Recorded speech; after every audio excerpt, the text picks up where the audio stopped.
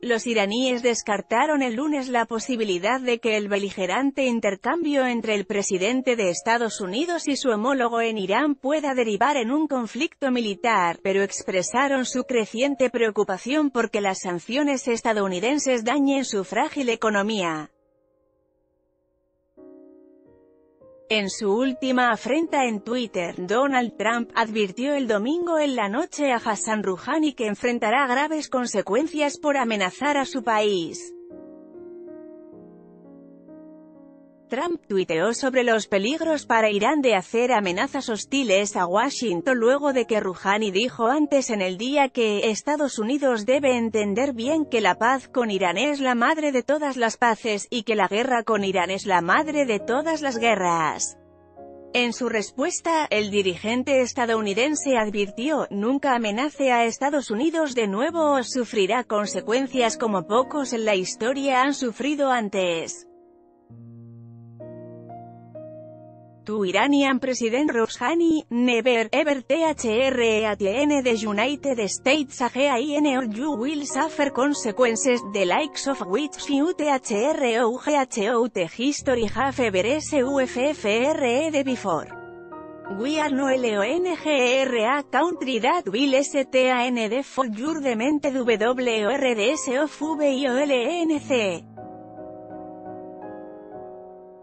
Trump, arroba Real Donald Trump, 23 de julio de 2018 La Casa Blanca indicó el lunes que el tuit de Trump muestra que el mandatario no va a tolerar una retórica crítica por parte de Irán, pero afirmó que el dirigente no está aumentando las tensiones entre ambos países.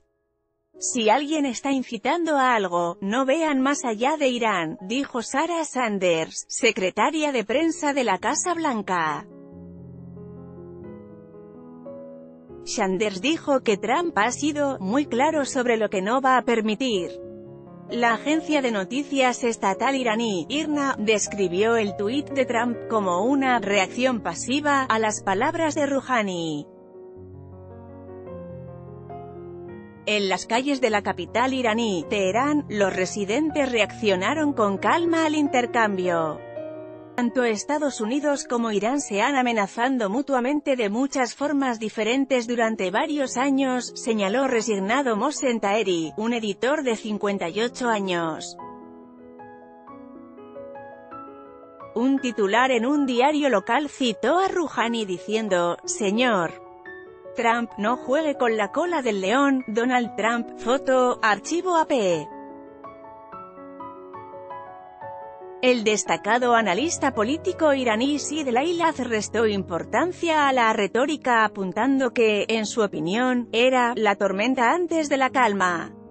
Leilaz dijo a The Associated Press que no estaba preocupado por las declaraciones y tweets, y que, ni Irán, ni ningún otro país está interesado en una escalada de las tensiones en la región, recordando las duras palabras que intercambiaron Estados Unidos y Corea del Norte antes de la cumbre de alto nivel entre Trump y el líder norcoreano, Kim Jong-un, Leilaz señaló que los dos líderes se acercaron, pese a las advertencias.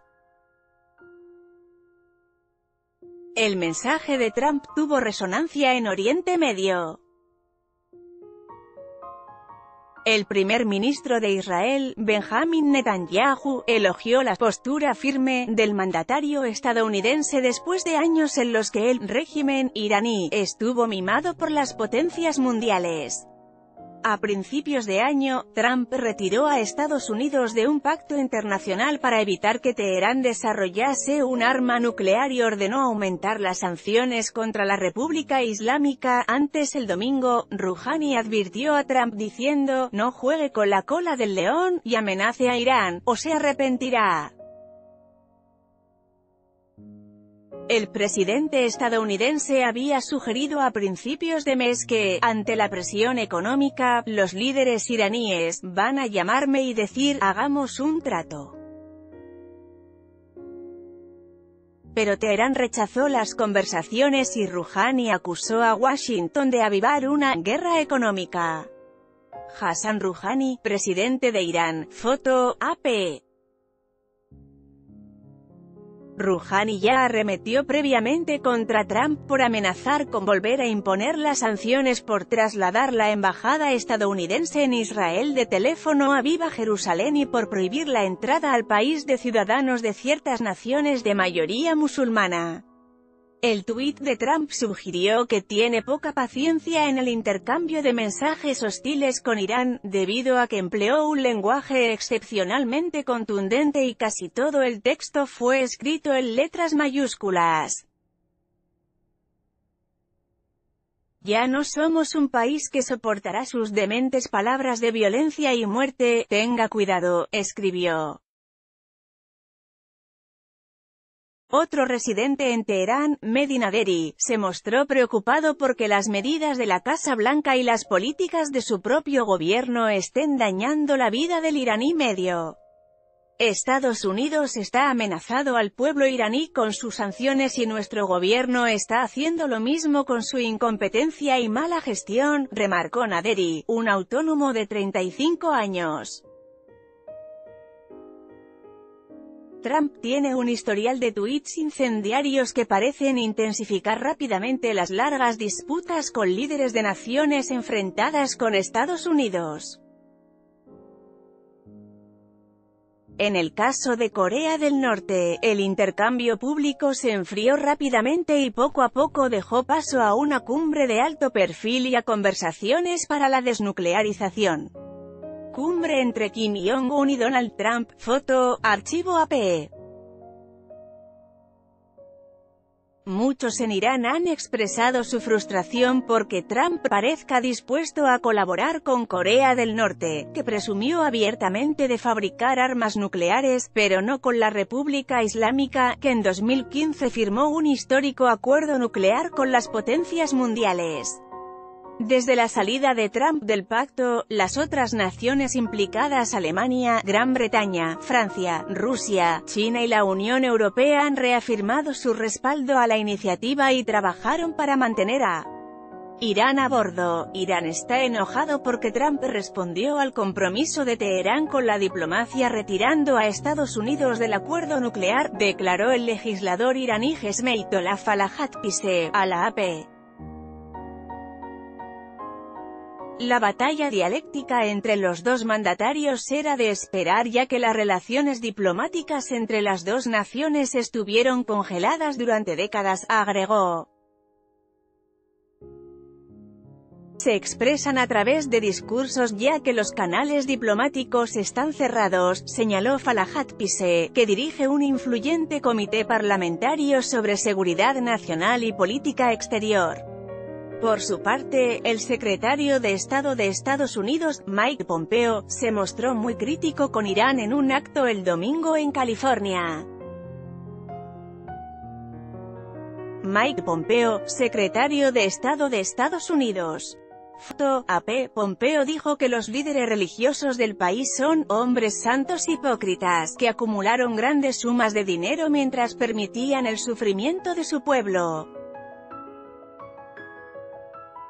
La acusación se enmarcó en una crítica más amplia que coincide con los preparativos para el 40 aniversario de la revolución islamista y para la reanudación de las sanciones económicas de Washington. En su discurso, el secretario de Estado habló también de aumentar el alcance de los medios hacia el pueblo iraní.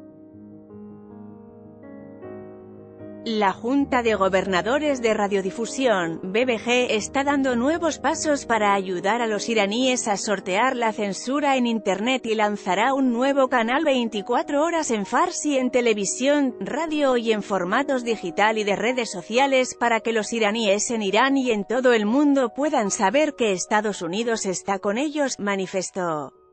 Pompeo atacó además a los líderes políticos, judiciales y militares iraníes acusado a varios de ellos por su nombre de participar en la corrupción generalizada. El gobierno de Teherán reprimió sin piedad los derechos humanos, la dignidad y las libertades fundamentales de su propio pueblo, agregó en el acto en la, en la Biblioteca y Museo Presidencial de Ronald Reagan. Pese al maltrato que recibe de sus mandatarios, el orgulloso pueblo iraní no guarda silencio sobre los muchos abusos de su gobierno, añadió Pompeo. Y Estados Unidos con el presidente Trump tampoco se quedará en silencio. A la luz de esas protestas y de los 40 años de tiranía del régimen, tengo un mensaje para el pueblo de Irán, Estados Unidos os escucha, dijo. Estados Unidos os apoya. Estados Unidos está con ustedes. En esta nota, Irán Donald Trump Hassan Rouhani conflicto.